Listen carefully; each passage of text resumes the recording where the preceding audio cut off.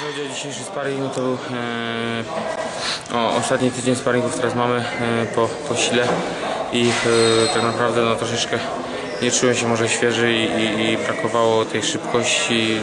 No najgorzej e, jestem niezadowolony z pracy nóg, ale sądzę, że tak jak to u mnie często bywa, właśnie ostatni sparring i walka e, są najważniejsze i, i, po prostu wtedy przychodzi ta świeżość i wtedy e, boksuję tak, jak, jak e, powinno wszystko wyglądać. No ale a treningi sparingowe służą e, po to, aby się uczyć i mam nadzieję, że e, w ringu będę mógł się zaprezentować jak najlepiej. No teraz też e, mam walkę po długiej przerwie.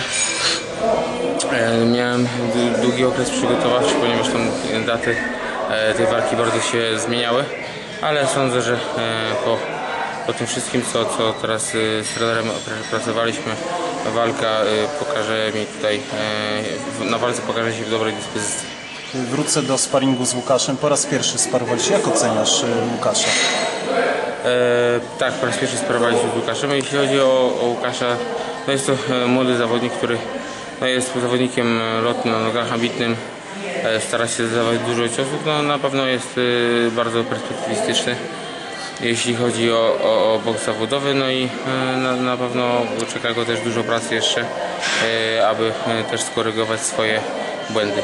Czy wyobrażasz sobie, że kiedyś razem moglibyście stanąć naprzeciwko siebie w ringu i, i walczyć? Nie, no jasne, ponieważ no, akurat nie, nie, nie, nie mamy zbyt dużej różnicy wagowej i, i, i na pewno e, Łukasz też będzie się starał dojrzeć tutaj e, wiekowo i wagowo i, i na pewno też będzie zmieniał, zmieniał kategorie wagowe. Ja już jestem zawodnikiem troszeczkę starszym i, i, mam nadzieję, że będę jak najdłużej boksował w tej kategorii wagowej, więc e, na pewno, na pewno jest to możliwe, że e, kiedyś może się spotkamy w.